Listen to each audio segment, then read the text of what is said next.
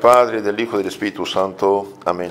Queridos hermanos, nuestro Señor Jesucristo, en el Evangelio de San Mateo, capítulo 9, vemos que está haciendo dos, eh, dos milagros, uno invisible y otro visible. El eh, invisible es el perdón de los pecados y el visible es la sanación del paralítico. Ahora, ¿por qué hace en primer lugar el milagro de la sanación antes de perdonar los pecados? Y bien, vamos a ver por qué. Entonces dice Jesús entrando a Cafarnaum, le presentó un paralítico postrado en su camilla. Un paralítico, ustedes saben, pues no puede moverse, pobrecito. Si uno a veces tiene un solo miembro paralizado, dice, Dios mío, ¿qué pasa conmigo? Como si no tuviera.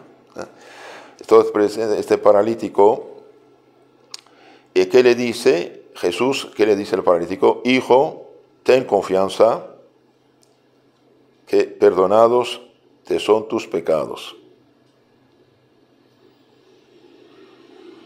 Luego algunos de los escribas interiormente dijeron, este hombre blasfema. ¿Quién puede perdonar los pecados si no solo Dios? Es verdad, solo Dios puede perdonar los pecados. Es verdad esto. Pero no blasfema. ¿Por qué? Porque este hombre es Dios hecho hombre. Ellos no saben. Pero hicieron un juicio temerario tremendo. Pues es cosas uno eh, le escapan a uno. No, no, no, uno no domina todo, no sabe todo. Por lo tanto, no es verdad que hay problema poniéndonos en lugar de estos fariseos, de estos escribas. Es verdad que está diciendo algo, algo bárbaro, pero también conocen un poco este personaje, ¿no? Saben de él algo. Entonces, al menos suspender juicio cuando no saben. Entonces, ellos lo acusan de una blasfemia, hace un juicio temerario muy fuerte, y Jesús aquí va a manifestar su, su divinidad, conociendo sus pensamientos, les dijo, ¿por qué pensáis mal en vuestros corazones? ahí nuestro Señor le echa el balón a su cancha, ¿no? Porque piensan mal. Entonces Jesús está, eh, les dice lo que piensan, les dice sus verdades. Porque pensáis mal en vuestros corazones, que es más fácil decir perdonados de tus, pecados, o bien levántate y anda. ¿Qué es más fácil? ¿Perdonar los pecados o sanar un, paralítico? Pero un doctor, supongo, podría sanar paralítico, ¿no? Es medicina, es cuestión físico. ¿Y ¿Cuál es más fácil? ¿Perdonar los pecados o sanar el enfermo? Eh, el más fácil es sanar el enfermo. Es, es, es, físico. Entonces, ¿qué dice? Eh bien, ¿qué es más fácil? ¿Qué es más fácil decir? Perdonados te son tus pecados o bien levántate y anda. Pues para que sepáis que el Hijo del Hombre Jesucristo tiene poder en la tierra de perdonar los pecados, dijo entonces al paralítico, levántate, toma tu lecho y vete a tu casa. Levántate, podemos decir nosotros también la palabra levántate, pero no se levanta. Entonces aquí, al dice una palabra, el paralítico, que necesita varias personas para traerlo, eh, bien dice levántate y se levanta. Y se levantó y se fue a su casa. Y al ver esto, las gentes temieron a Dios y alabaron, a Dios porque dio este poder a los hombres. Entonces, queridos hermanos, aquí vemos varias cosas muy interesantes por, eh, por nuestra vida espiritual. Primero, dejamos los juicios temerarios, como dije, es peligroso, muy, muy peligroso. Segundo, aquí nuestro Señor manifiesta su poder divino, primero leyendo las conciencias de, de, los, de los escribas, y, segundo, perdonando los pecados. Es verdad que solo Dios puede perdonar eh, el pecado. Ahora, para que supieran que Él tiene ese poder de perdonar los pecados, y viene a hacer el milagro de la curación. Hace el milagro de la curación. Y cuando dijo, levántate, toma tu lecho y vete a tu casa, se levanta lleno de fuerza y carga y se va. Ahí, eh, contrafactum, no fit argumento, como dice eh, la filosofía. Entonces, ahí tiene que, que aceptar. Y viene esta gente, por desgracia, en lugar de recapacitar humildemente, de entender las cosas, y bien eh, no va a aceptar y terminarán muy mal con Cristo, puesto que por envidia y por maldad van a entregarlo a Pilato y exigir de Pilato su muerte en la cruz. Pero dichosa muerte porque esta muerte fue la razón y causa de nuestra eh, salvación. Cristo en la cruz veía y conocía a todos y cada uno de nosotros, dio su vida por cada uno de nosotros, derramó su sangre por cada uno de nosotros y hoy en 2021 derrama esta sangre sobre nuestras almas mediante los, los santos sacramentos. El sacramento por excelencia, que es la Santa Misa, es renovación de su sacrificio en nuestro provecho, porque la Iglesia manda y ordena a todos sus hijos de escuchar al menos el domingo eh, la Santa Misa, asistir, y porque en la Misa Cristo hace presente sus, los efectos de su sacrificio. Es el mismo sacrificio con la misma eficacia, de otro modo ofrecido, pero con la misma eficacia en nuestro provecho. Por eso cuando uno está en la misa, para ganar más, eh, más provecho, es bien eh, pensar que uno está delante de la cruz de Cristo y, presentar sus problemas, dificultades, necesidades a nuestro Señor Jesucristo, porque en la misa Jesús ofrece nuestras oraciones a Dios Padre, con mucho poder. Primero y segundo, eh, esta sangre derramada de Cristo eh, bien, eh, se derrama sobre nuestras almas mediante dos otros sacramentos, el bautismo y la penitencia. El bautismo es uno solo, no se puede rebautizar, es pecado, porque es un, sacramento que marca un sello espiritual imborrable que llamamos, que llamamos carácter. entonces, Jesús sabiendo que íbamos a pecar de todo modo, ¿qué hizo? inventó otro sacramento, como decía un padre de la iglesia, un segundo bautismo de cierto modo, segunda plancha de salvación, que es la, confesión, perdón los pecados. Y por desgracia ese sacramento del perdón de los pecados hoy está falsificado, falsificado por todas estas sectas protestantes ilegítimas, falsas iglesias inventadas por hombres que no tienen ningún derecho de hacer lo que hacen, pero lo hacen y prácticamente nadie dice nada, los dejan hacer, engañar a la gente en nombre de Cristo. Cristo sí perdona los pecados. Sí, la, sangre de Cristo nos purifica, nos santifica, nos defiende, eh, eh, nos perdona los pecados. Pero cómo llega a nosotros esta sangre de Cristo no es porque yo digo aquí se hace y porque Cristo este, dejó un orden.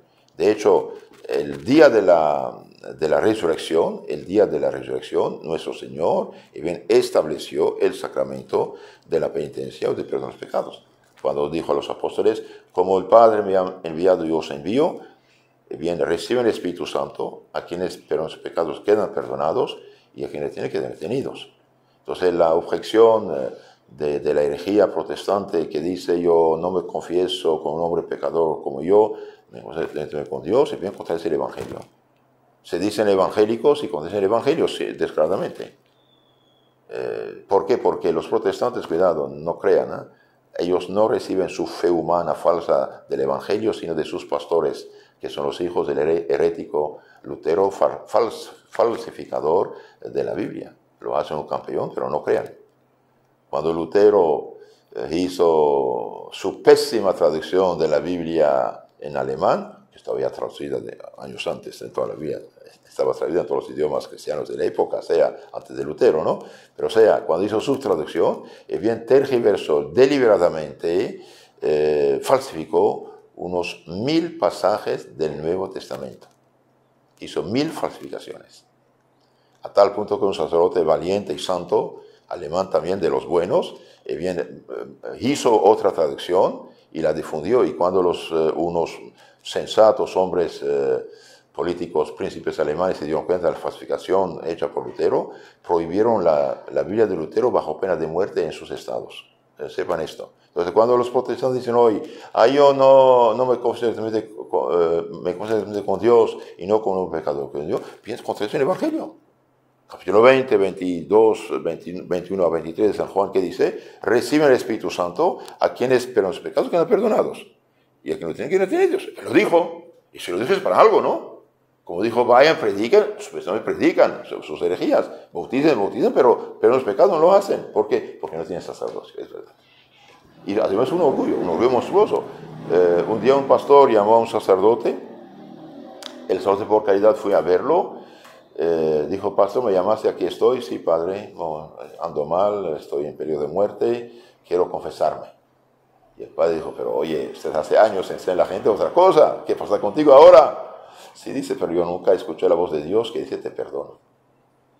puedo gritar mil veces, Dios perdóname, no escucho la voz de Dios que te perdono. Dios puso un orden y precisamente eh, los sacramentos son los signos sensibles que comunican la gracia y que significan la gracia. Entonces, si, Dios dio poder a los apóstoles que eran sacerdotes desde el jueves santo de perdón los pecados, y esto se hace en la iglesia de dos mil años, que dejen de, mentir a la gente en nombre de Cristo, eso es diabólico. Reciben el Espíritu Santo a quienes los pecados quedan perdonados y a quienes tienen que ser detenidos. Y aquí vemos nuestro Señor, perdona los pecados y después para mostrarle que sí su palabra tiene, surte efecto, sana el paralítico levántate, camina y vete a tu casa y se levanta lleno de salud y carga con su cama. Entonces el sacerdote, que los hermanos, no perdona eh, por autoridad propia el pecado.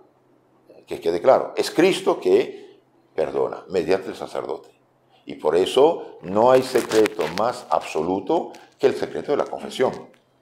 Eso también es importante saberlo. A veces yo escuché gente que dice, sí, pero hay casos, no señor, no hay ningún caso. Ningún caso, no hay ninguna excepción.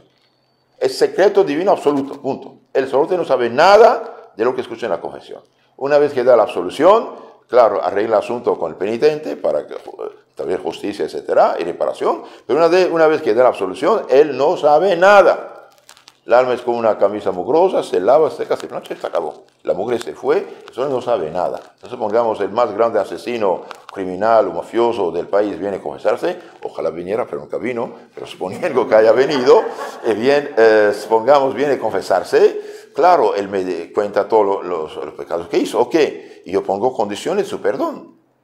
Eh, mire, tienes que reparar, eh, tienes que pagar tanto por los crímenes que hizo, él es dispuesto a hacer. Y bien, una vez que estuvimos de acuerdo con las condiciones del restablecimiento de la justicia, y bien, yo le absolvo sus pecados.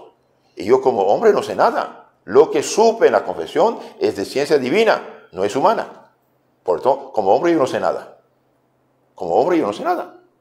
Entra por aquí, sale por aquí, como la camisa mugrosa. La mujer se fue. Entonces el Espíritu Santo de Dios, eh, bien, expulsa el pecado, el demonio, y reviste de la gracia de la santidad esta, eh, esta alma. Entonces, como católicos, apreciamos este santo sacramento. Ahora, ¿qué efectos eh, tiene la, penitencia o la confesión de los pecados? Bien, depende. Eh, en la persona que está en gracia de Dios y se confiesa, bien, elimina digamos, los pecados veniales que tiene y santifica más su alma, crece la gracia y como, como, por ejemplo usted tiene, no sé, 30 watts de luz, va, llega a 50, 60, hay más luz.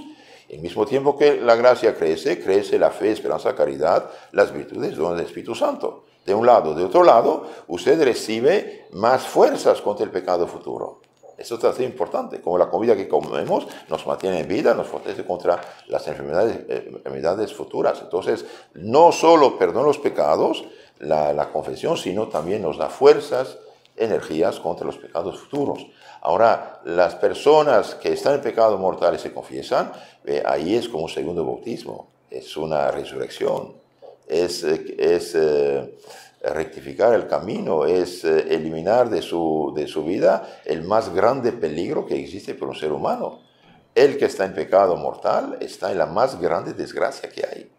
Supongamos una persona hace un accidente, Dios no quiera, y queda paralítico totalmente, y toda su vida va a quedar paralítico, teniendo 15 años esta persona, es una desgracia, ¿no? Toda su vida eh, paralítico. Y bien, el pecado mortal es mayor desgracia que esto.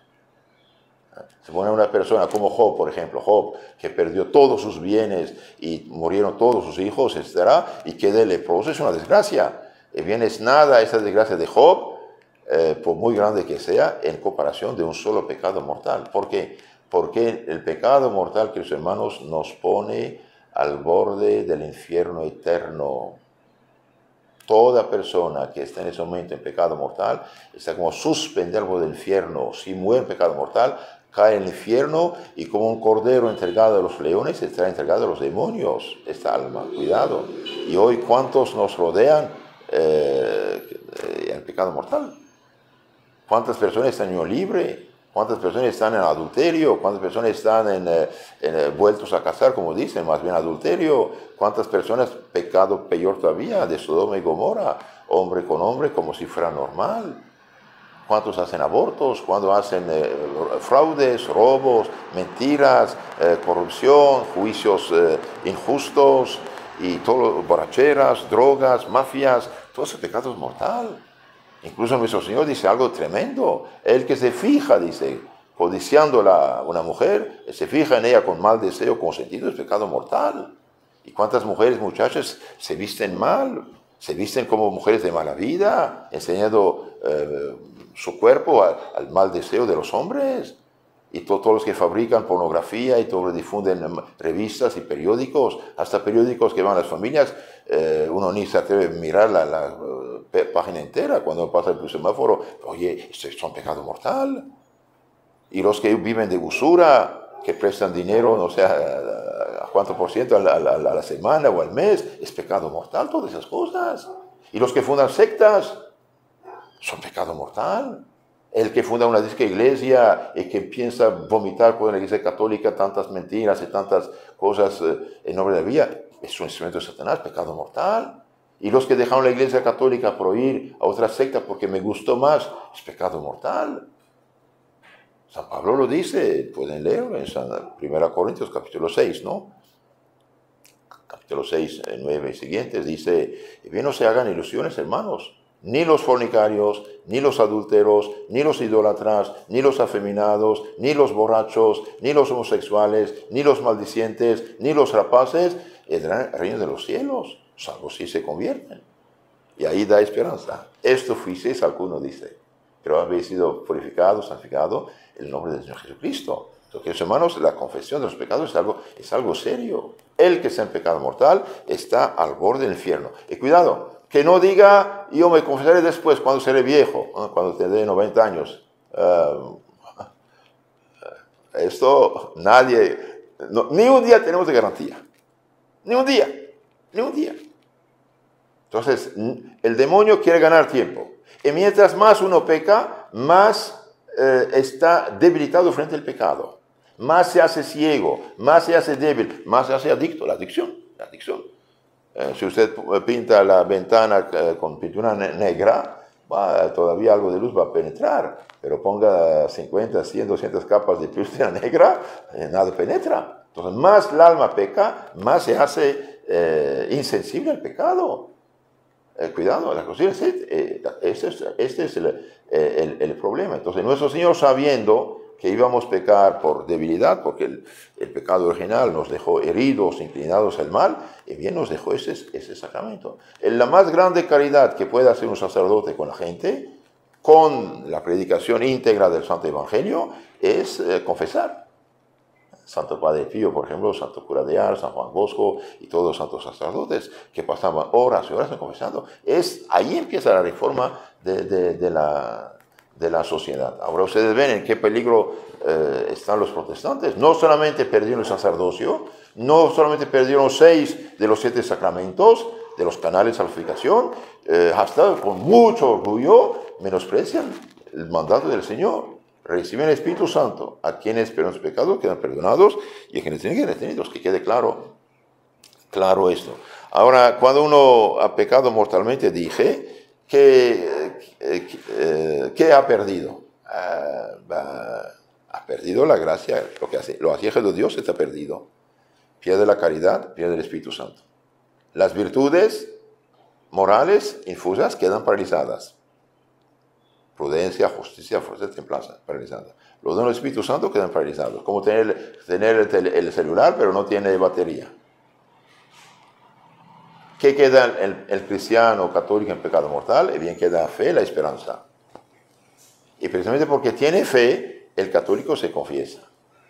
Y al confesarse, y bien recibe la gracia, recibe la caridad, recibe el Espíritu Santo, y su fe y esperanza se alumbran, y recibe, se activan las virtudes y los dones del Espíritu Santo.